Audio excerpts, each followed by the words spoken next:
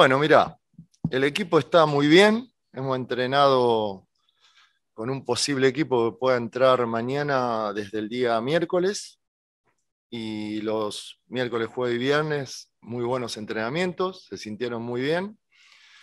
Ya veníamos entrenando por Zoom y lo habían hecho bien, así que estamos eh, muy concentrados, metidos en el partido.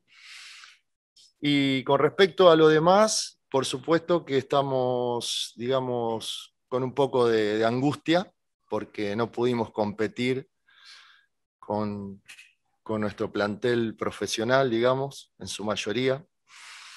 Otra vez, es la segunda vez que nos pasa, entonces en ese caso nos parece injusto porque no hubo justicia deportiva, ¿no es cierto? Cuando se va a definir un torneo y vos tenés una temporada de trabajo, de, esfuerzo, de concentraciones, de partidos, de viajes, de, un montón de cosas. Y bueno, llega un momento que cuando sentís que sos perjudicado eh, por no poder jugar con todo el plantel eh, o por jugar solamente con chicos, en, su mayoría, por segunda vez, sentís un poco de bronca, un poco de que no, no hay justicia, pero eso ya quedó atrás, ahora tenemos que pensar en los cinco partidos que tenemos, que son cinco finales, y tratar de ganar los cinco.